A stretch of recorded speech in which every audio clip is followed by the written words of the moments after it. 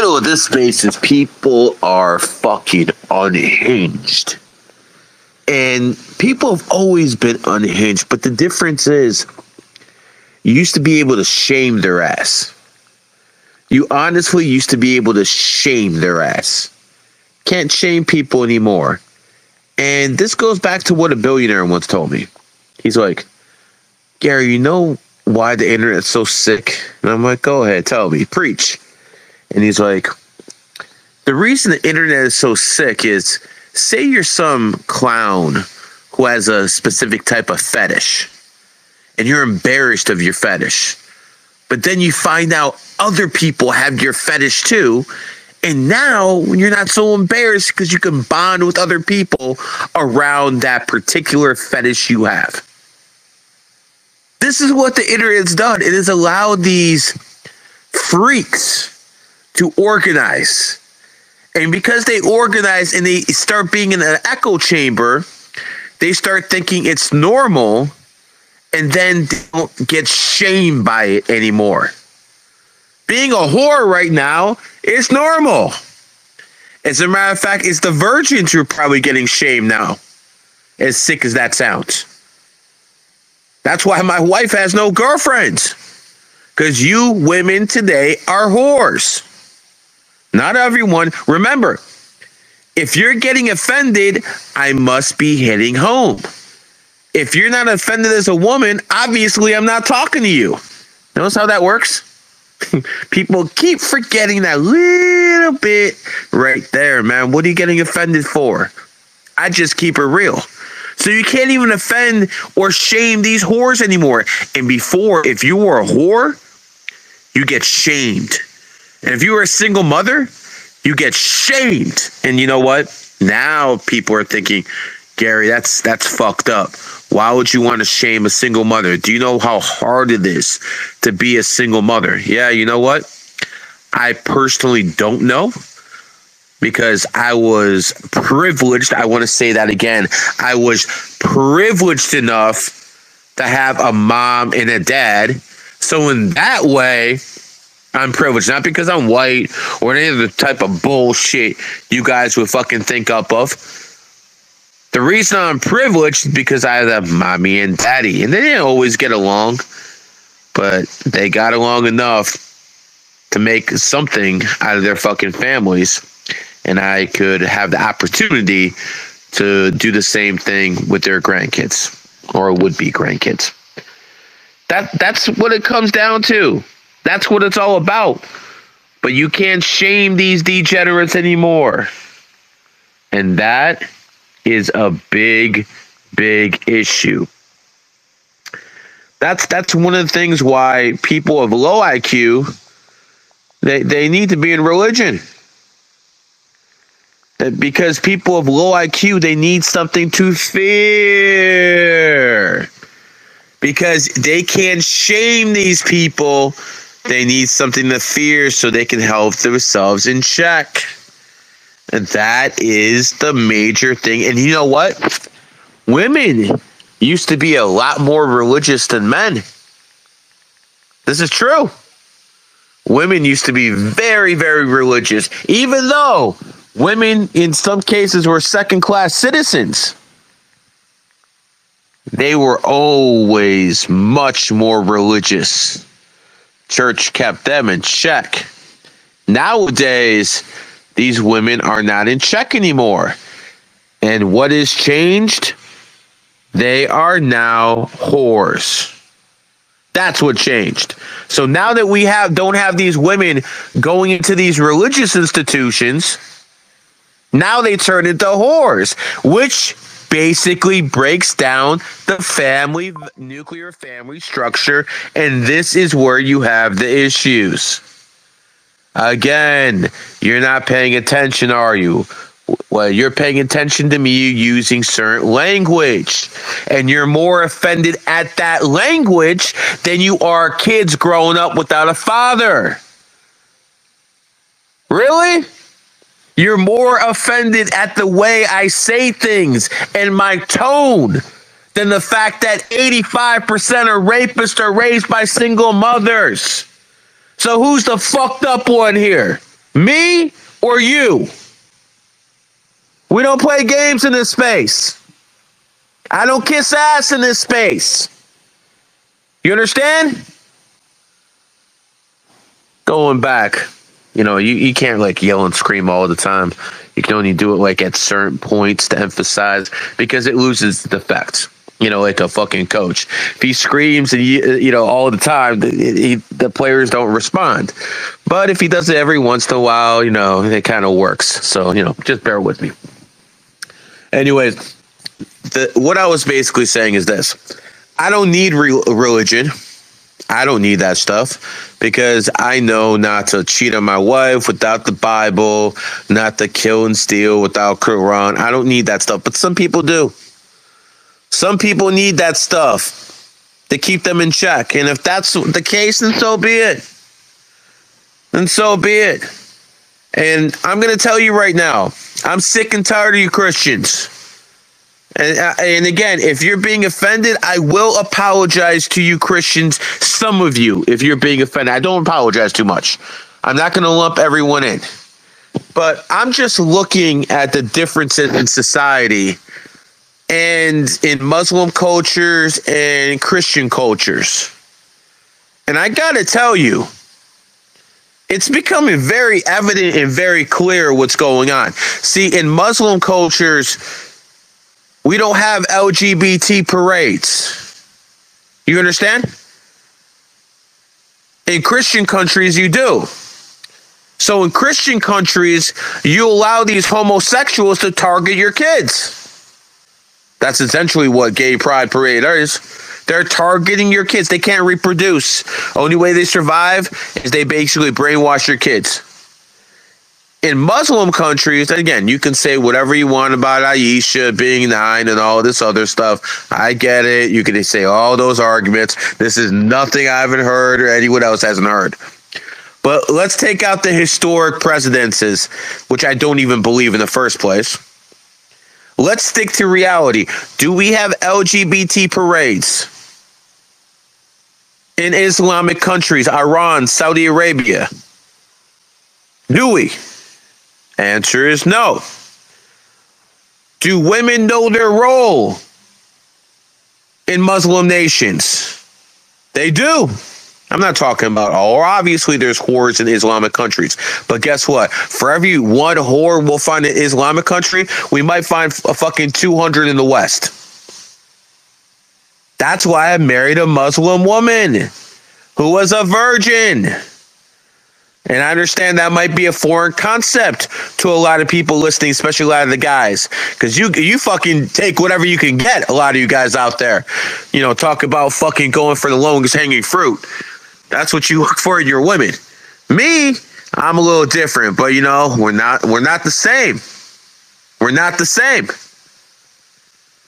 But in Islamic nations, you don't have women who are promiscuous. Yet in these type of cultures, you do. What would you like me to tell you? Am I lying? Am I? In Muslim nations, I wouldn't have some fucking whore running for president and watching ads on TV say, vote for me. You think a Kamala Harris, who basically got famous through a talk show host in the 1990s called Montel Williams, is presidential material? You think Kamala Harris, who was sucking Willie Brown's dick to get in government, who was the mayor of San Francisco about 25 years ago, you think that's an adequate way to get in office? Are you out of your fucking mind? That's the thing. In a Muslim nation, we would not have a woman who's a fucking whore running for president. We do here. So I, am sorry. I'm not going to be sorry. And I'm not advocating for Islam at all. I, what I'm doing is I'm comparing Trump to Camilla Harris. Okay? I can have a spaces for five hours talking about what's wrong with Donald Trump. Same I do for Islam. But you know what? I could have a fucking space for fucking 50 fucking hours about what's wrong with Camilla Harris. And the same thing I can do for Christianity. Let me let me tell you one of the main differences I've seen personally between Christianity and Islam. In Islam, I see people serving their Lord, Allah. Okay? I see, again, I don't agree with this praying. I don't agree with any of that stuff. Okay? But I'm just telling you what I see with my own eyes. I have not had Muslims betray me. Again, you can uh, you could tell me the Palestinians did this and that. I haven't had Muslims betray me. Okay, had plenty of Christians do that. Okay, besides the point. Muslims always tell me they serve God, yet when I talk to some Christians, they always tell me they're the chosen one. Excuse me?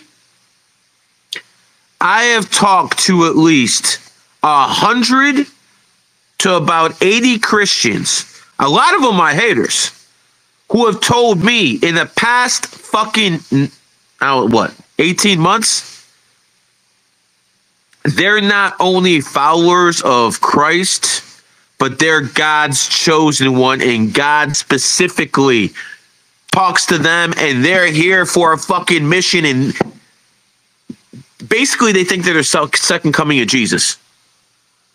I have yet to witness this behavior in Islam where someone tells me, I'm Allah's chosen one, I'm going to do this, this, and this. I haven't heard that shit.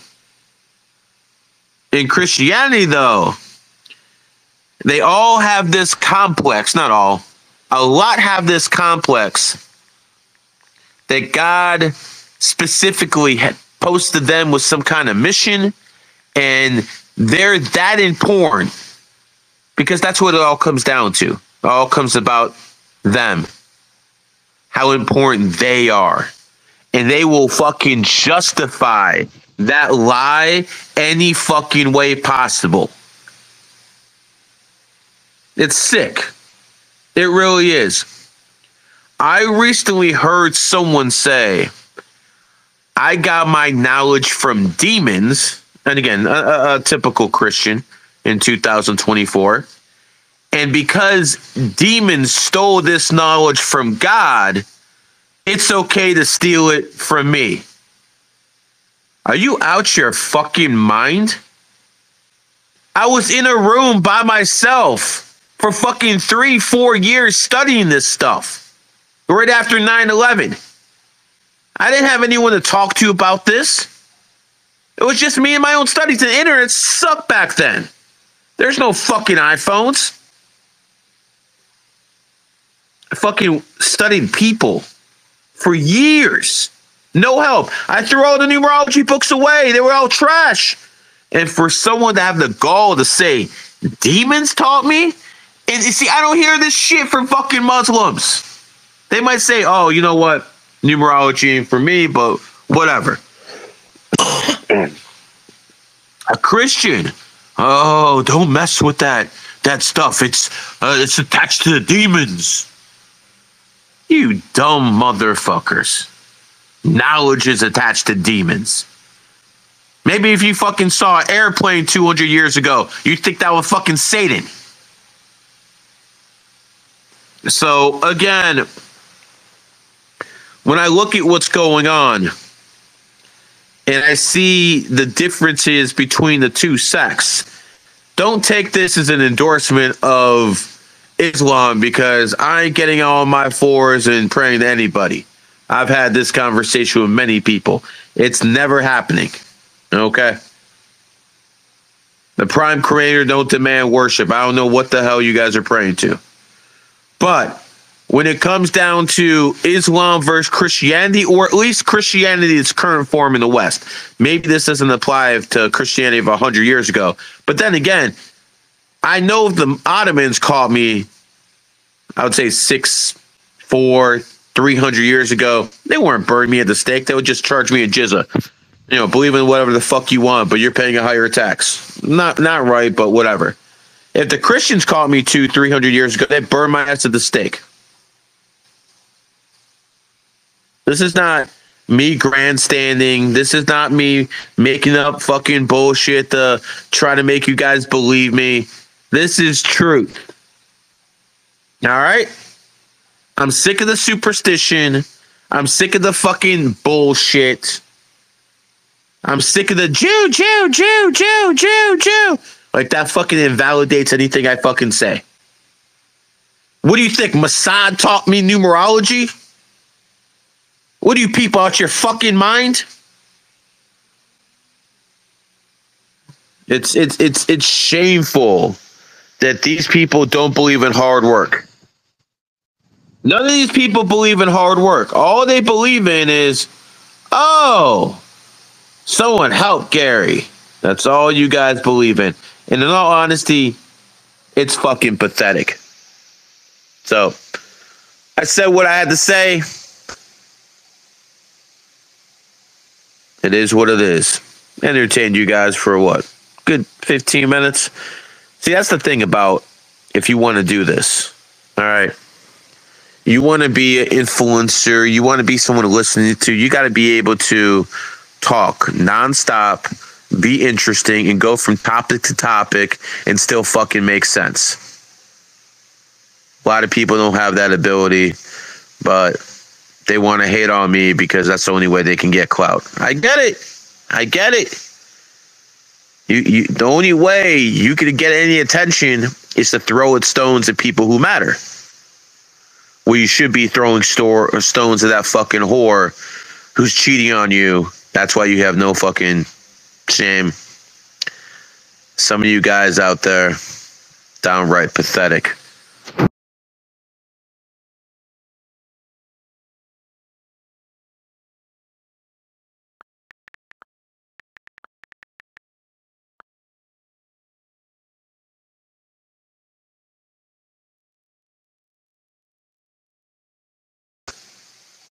On me because that's the only way they can get clout. I get it. I get it. You, you, the only way you can get any attention is to throw at stones at people who matter. Well, you should be throwing store stones at that fucking whore who's cheating on you. That's why you have no fucking shame. Some of you guys out there, downright pathetic. Anyways, this has been a GG33 production.